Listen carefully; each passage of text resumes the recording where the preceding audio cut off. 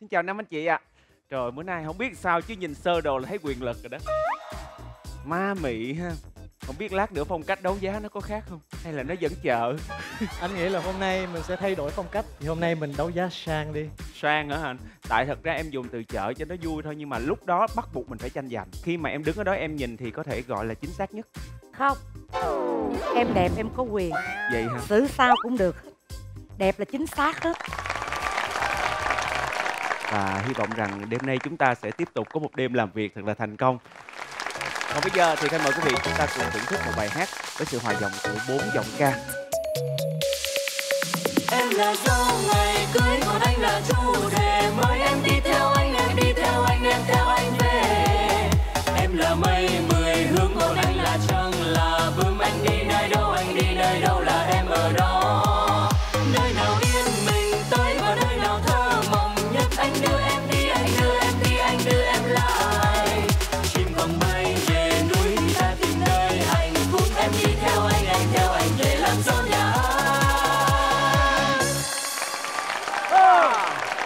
Chúng tôi sẽ lần lượt mở 4 chiếc micro. Xin mời vị trí số 1.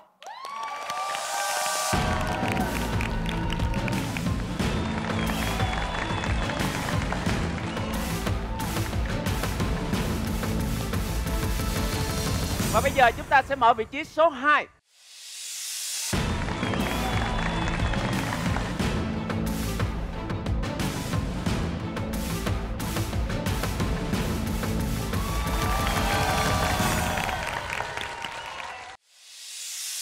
Hãy cùng Khanh mở vị trí số 3.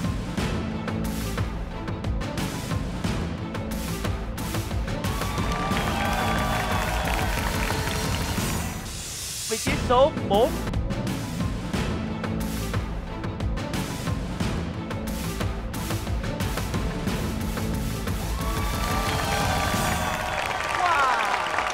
Thưa quý vị, đây là bốn nam thanh nữ tú cùng nhau tranh đấu trong đêm nay. Bây giờ Khanh mệnh Kim Tử Long. Với anh, anh ấn tượng vị trí nào và anh muốn chọn vị trí nào trước? anh chọn ờ, vị trí ờ, số 2 Tại sao lại chọn số 2 ạ? tại vì cô bé này nhỏ nhắn nhất tội nghiệp đứng lâu chờ mệt ra hát trước đi Vậy thì chúng ta sẽ cùng nhau tìm hiểu vị trí số 3.